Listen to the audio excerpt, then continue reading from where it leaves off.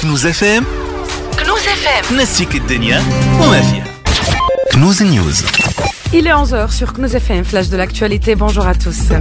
Le président de l'Assemblée des représentants du peuple a appelé lors de son allocation à la quatrième conférence mondiale des présidents des parlements qui se tient au siège des Nations Unies à New York à organiser un congrès international pour la lutte contre le terrorisme dans les plus brefs délais et ce pour mettre en place un plan mondial pour déterminer les causes et les sources de financement du terrorisme.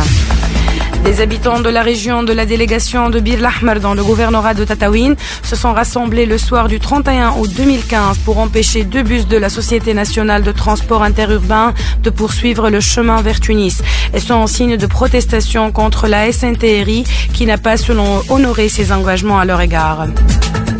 Des sources sécuritaires turques ont affirmé que deux policiers, un jeune garçon de 12 ans et quatre civils ont été tués, alors qu'un civil et cinq policiers ont été blessés dans des violences qui ont eu lieu au sud-est de la Turquie.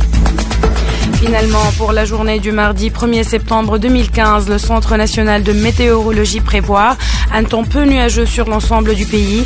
Les nuages seront progressivement abondants l'après-midi sur les hauteurs ouest avec cellules orageuses accompagnées de quelques pluies. Mer peu agitée à agitée, température maximale comprise entre 35 et 39 degrés et voisine de 33 degrés sur les régions côtières est. Fin de ce flash d'actualité. Excellente journée sur CNews FM.